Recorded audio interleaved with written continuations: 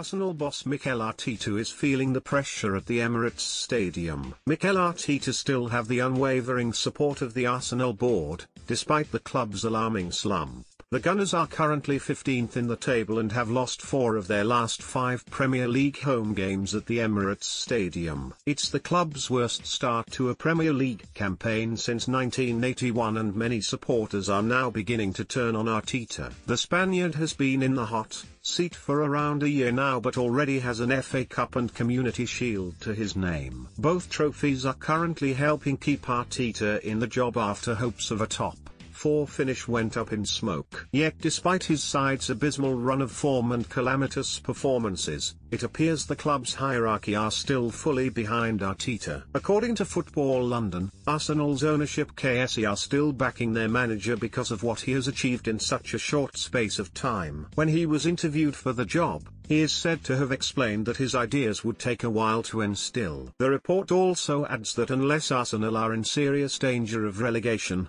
the club are unlikely to pull the trigger on his tenure. Speaking earlier this week, the stance was reflected by technical director Edu, who predicts his former club to have a beautiful future under Arteta. Mikel is doing a great job.